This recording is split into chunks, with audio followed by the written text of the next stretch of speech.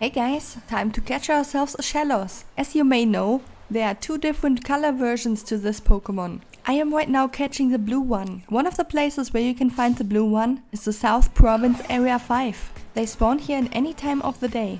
It is said that you can find the blue one on the east coast of the island and the red one on the west coast of the island. At full health, with a normal Pokeball, they have a 35.2% chance to be caught. Good luck!